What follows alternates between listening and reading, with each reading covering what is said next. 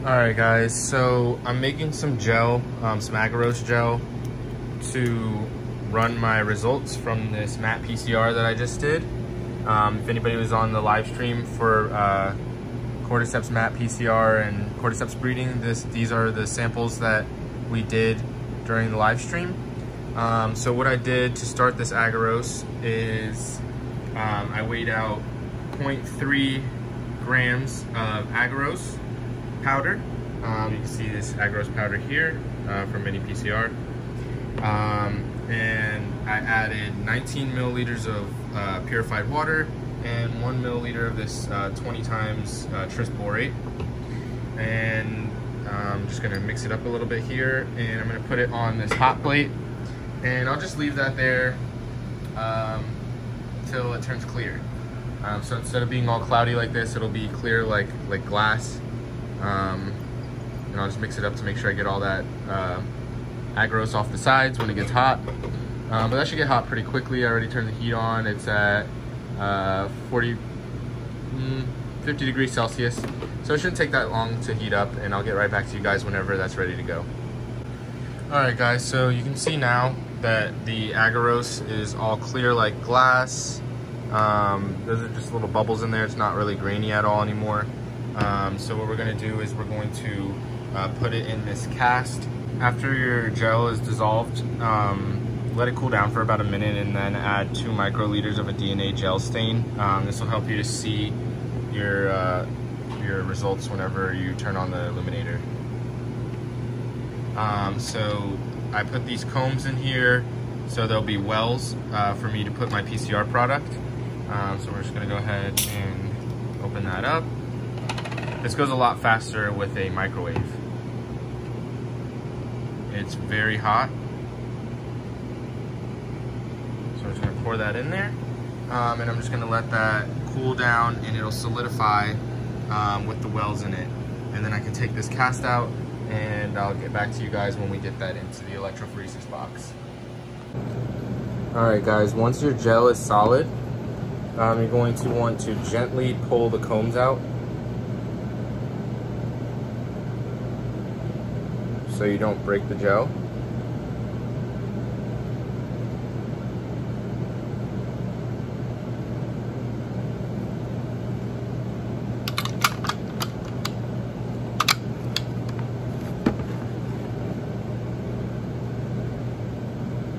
And then pull your cast out. It's a little stuck in there.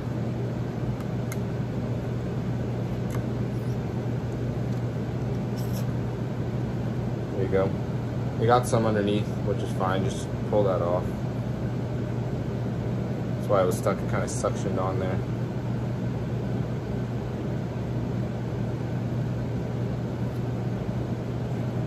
You can see now there's the wells in there. And then you're going to want to put that into your electrophoresis box.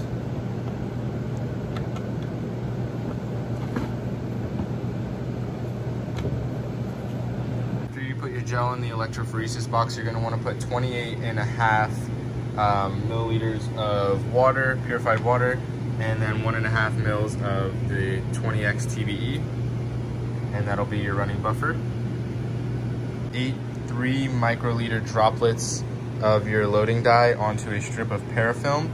Um, then we'll mix eight, mm, seven or eight uh, microliters of, let's do seven and a half microliters of each of your PCR product.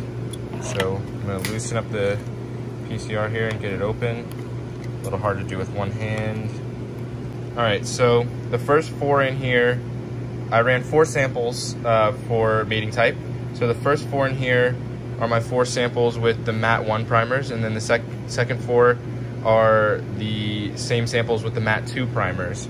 So for each of these droplets, I'm going to do um, the sample with the mat 1 and the same sample with mat 2, and so on and so forth. Um, and then I'm going to put these next to each other in the wells. So sample 1, mat 1 and 2 are going to be in the first two wells, sample 2, mat 1 and 2, second two wells, so on and so forth. And then the last well, I'm going to put my ladder um, so I can see how many base pairs everything is. So my next step is to take seven and a half microliters of each PCR product and mix it with the three microliters of loading dye on the paraffin. All right, you're gonna wanna make sure you change out your pipette tip every time between touching anything um, to make sure you're not gonna cross-contaminate and mess up your results. So I'm gonna put 8.5 microliters of the PCR product mixed with the loading gel into each of these.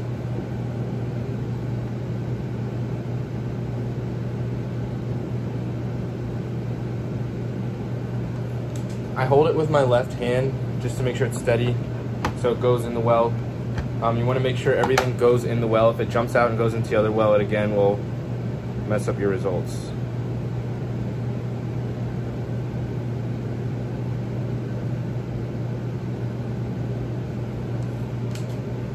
And I don't press down all the way. I go to the first stop when I draw up and I go to the first stop when I put it in there just so that I don't get any bubbles.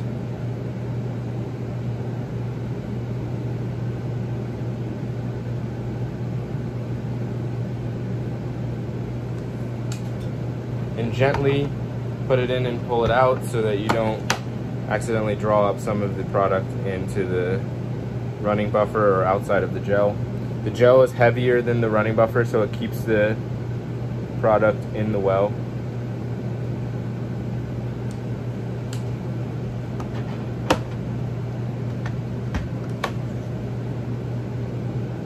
And I already added the ladder in here beforehand.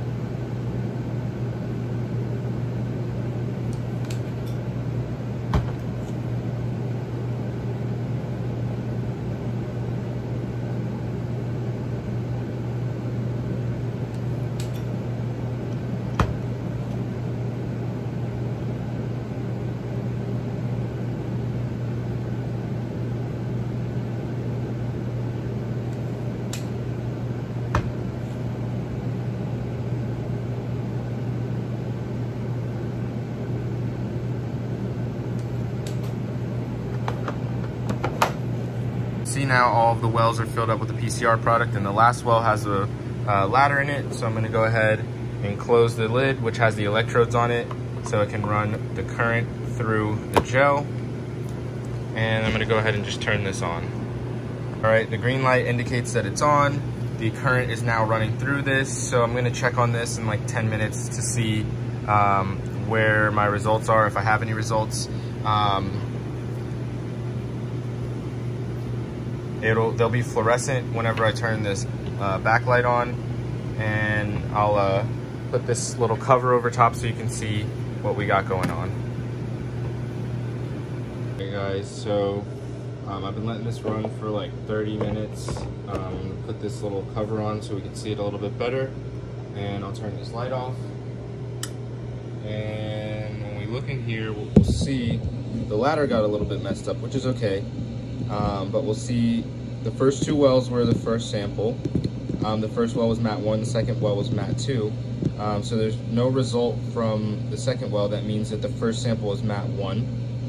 Um, mat two has a little bit more base pairs than, or um, mat one has a little bit more base pairs than mat two, so it'll be a little bit higher up.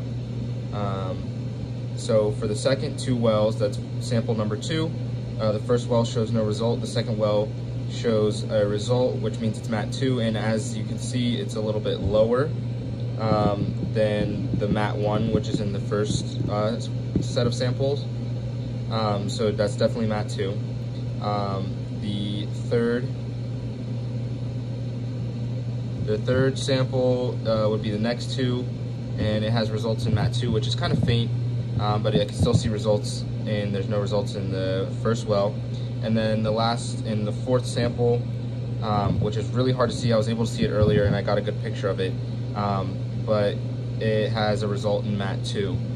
Um, if the ladder was a little bit more extended, which unfortunately it's not, uh, you would see, you would be able to count the base pairs. Um, but this is good enough results for me to have the answers uh, for my mating type ID. So I hope you guys enjoyed this video and maybe I'll do another video on actually um, breeding out the, the cordyceps mushrooms. So we have our four um, single spore isolates here. And I can go ahead and say that this is mat uh, one, and then these three are mat two. Um, so there we go. That's how you do mating type ID uh, via PCR and check your results via ele- uh, gel electrophoresis.